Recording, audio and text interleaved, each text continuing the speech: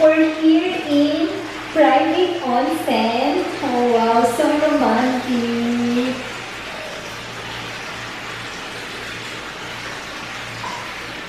This is hot spring, guys. Um, I feel relaxed.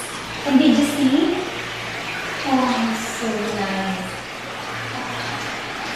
I feel so relaxed, so